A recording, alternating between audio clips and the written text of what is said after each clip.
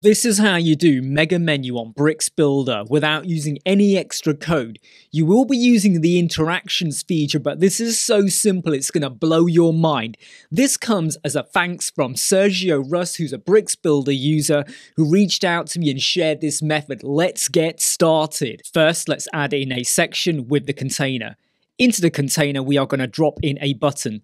The idea is that every time we hover over a button, it will reveal another set of information, which might be headers, images, videos, whatever you want. Remember, this is Flexbox containers. You can do what you want inside of here. Only thing I'm going to do at the moment to the section is give this a little bit of padding. I'm not going to add any padding at the bottom because that's the point where we start to hit the mega menu. But what we have here is a button. Next, we're going to add in another section container below. This is now sits in its own area. Into this container, I'm going to drop in a block. And into the block, I'm going to drop in a header, actually multiple headers. I'm going to add some padding to my block, something like that. And just to show you that this does definitely still work, I'm going to go to my header, go to content, and I'm going to say take this over to not an external, to an internal URL, and we'll just send it to one of my test pages like that. Now give section 2 a class name. We're going to go over here, click rename, and we are going to change this to be mega underscore one like that and make sure you save that. Then you want to change the display of that section to be none. Now don't worry, it completely disappears, but we are going to bring it back with some interaction. Click the icon over here for interaction, and the first we're going to activate is the hover action. So we're going to say that when you hover, we want this to show the element, we are going to select the CSS selector to be the target, and the selector name is going to be hashtag mega underscore one. I'm just going to copy that for a moment because it makes it easier to do what I'm about to do next. We are then going to go and add in another interaction. This one is going to be mouse leave. The action will be hide element.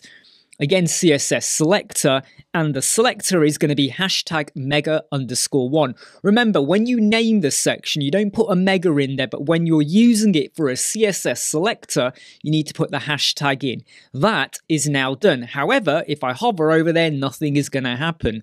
What we now need to do is click on the button.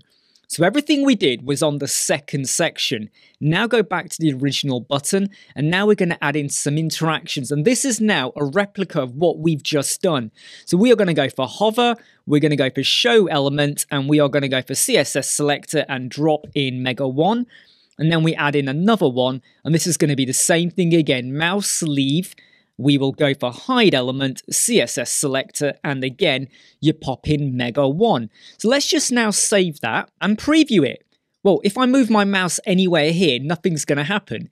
I go to the button and the mega menu appears. Look, I can interact with it. So if I hover over here, you should now see at the bottom left-hand side the, uh, the URL link for where this would go. It goes over to a loop page. I'm going to duplicate this button.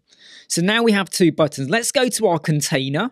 Let's set it to be a row. And for now, I'm just going to go with space around like that. I'm now going to duplicate section that we already had. I'm going to call this one Mega 2. And for simplicity, just so that we know it's definitely working, I'm going to go and give this a background color. We'll go with a gray color like that. I'm also going to rename this. So we're going to go over here and we're going to hit rename and I'm going to call this one Mega underscore 2. And of course, if ever you wanted to change any of the items in here, you could do. You could just go over to Mega 2 and then get rid of the none so that now we can see the items. This is if you wanted to put in whatever you want to show, an icon list, further images. Like I said, you could even put an accordion or slides in there. Let's pop the display for this back to be none, and we now go through the same motions as what we did before for this new section. So we go over to interactions, we click on the hover, it's already duplicated it over for us. And what we're going to do is just change that to be for Mega 2. Close that, go to the mouse leave, and now change that one as well. That's what's really cool about this method. Once you've done it once, it is so much, it's so easy and simple to kind of do it again.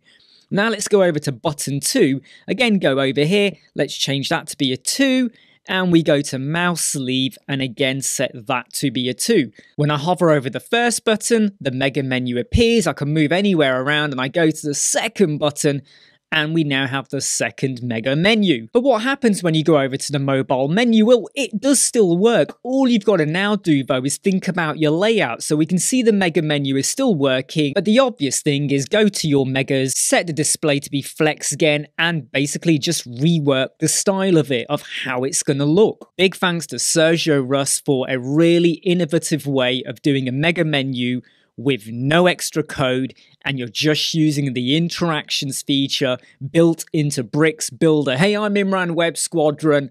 I hope you like, subscribe, share, and follow. I'll see you soon. Always fight, never quit, do it right, play the game, win it life, have no shame, there's no time, feel the pain, live the grind, I could change, in my mind, pick a lane, commit and climb, the only way to win it life. I never miss, that fact Taking big swings, bitch, hand me the bat